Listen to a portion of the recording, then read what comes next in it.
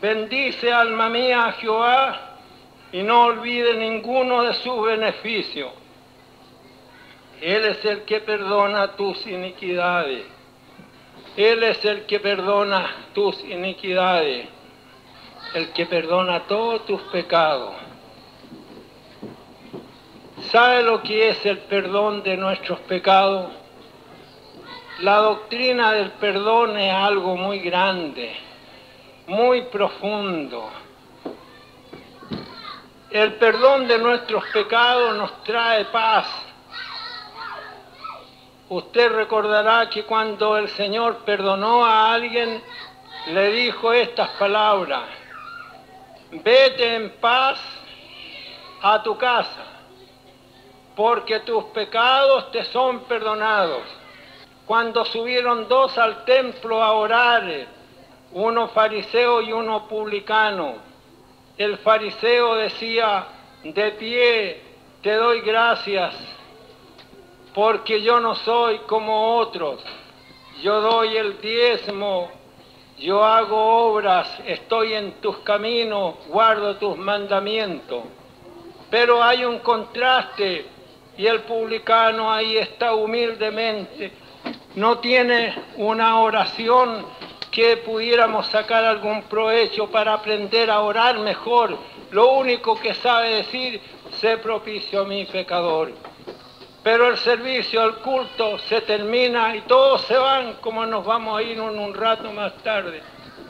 Y él desciende justificado a su casa. ¡Qué feliz llega ese hombre!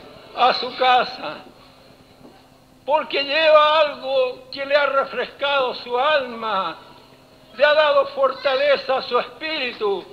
Hay algo que lo ha colocado en contacto, en relación con el Señor. Sus pecados le han sido perdonados. ¿No es así? La doctrina del perdón nos hace a nosotros también revivir y si alguien nos ha ofendido, nosotros le perdonamos a ese que nos ha ofendido, porque antes que yo perdone, Él me perdonó a mí.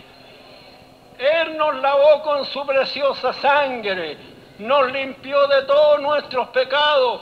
Es Él el que perdona tus iniquidades, el que borra tus rebeliones, como diciendo todas las cuentas están borradas, tienes tu derecho para entrar en la gloria.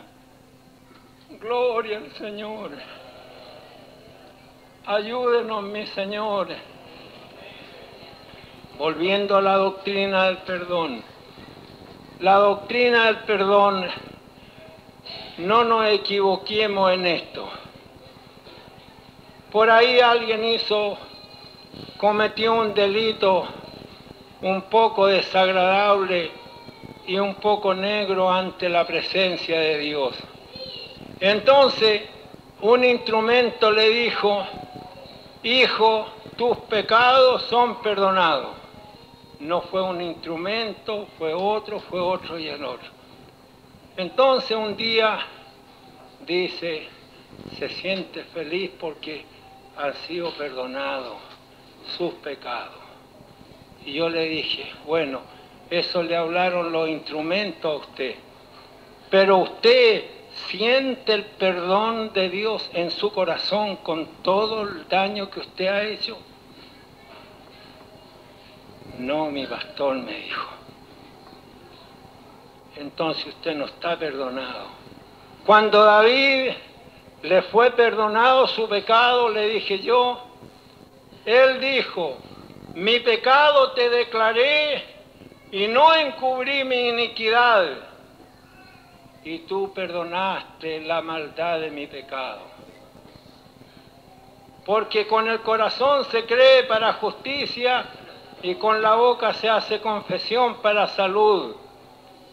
Él es el que perdona tus iniquidades, pero en primera de Juan capítulo 1 versículo 7 dice, si nosotros confesamos nuestros pecados, Él es justo y fiel para perdonar nuestros pecados. Todos mis hermanos y hermanas leen la Biblia. A Jonás lo habían mandado que fuera a Nínive a predicar el arrepentimiento. Y él se embarcó en una nave que iba para Tarso. Entonces sobrevino una gran tempestad.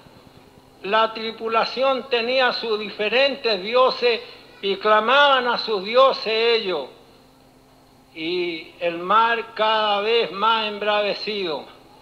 Y se acordaron que allá abajo en las bodegas había un hombre que se había embarcado y fueron allá y le dijeron, levántate dormilón y clama a tu Dios, quién sabe si Él tendrá misericordia de nosotros. Entonces Él dice, yo soy el culpable. Echadme a mí, yo soy el culpable por causa mía está sucediendo esto en esta nave. Lo tiraron al mar, pero resulta que había Dios dispuesto un pez grande que lo recibió. Entonces, Jonás dice, de lo profundo, de lo profundo, de lo más profundo clamé a Jehová. Y como dice el texto, y mi clamor llegó ante tu presencia. Él es juez justo para perdonar nuestros pecados siempre que nosotros los reconozcamos. Y una persona que no haya reconocido su delito, su pecado, aunque se lave con jabón y lejía, el pecado está siempre permanente en él. ¿Es así o no es así? es antibíblico lo que me están escuchando. Mientras callé, dijo el salmista, envejeciéronse mis huesos en mi gemir cada día, volvióse mi verdor en sequedad de estío. Pero mi pecado te declaré y no encubrí mi iniquidad, y tú borraste la maldad de mi pecado. Y él después aparece con un salmo si usted es fiel, señorita, y hermano, y yo, y usted, y todos, y terminamos con éxito la carrera que nos ha sido propuesta, allá en la presencia de Dios, donde dice, proseguiremos conociendo a Jehová como las estrellas del alba, vamos a conocer qué melodía tiene. Bienaventurado aquel cuyas iniquidades le son perdonadas y borrados son sus pecados. Vamos a conocer la melodía. Quién sabe si Asaf va a dirigir ese coro celestial. ¿Por qué le digo así yo? Porque este salmo empieza desde el versículo 1, empieza auto, él instándose y termina invitando a los ejércitos celestiales, a los ángeles, a los hombres, a todos los seres humanos a unirse a Él para alabar y glorificar el nombre de Dios. Lea el Salmo 103 hasta el último versículo y me va a encontrar toda la razón. Para el Señor sea toda la honra y la gloria. Amén. Gloria a Dios.